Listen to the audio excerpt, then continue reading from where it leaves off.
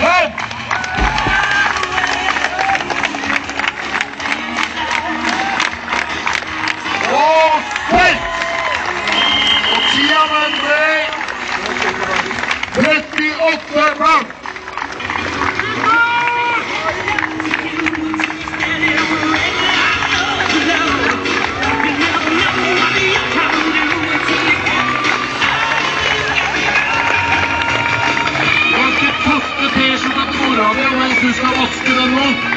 Dårlig råd, derfor kastet han du.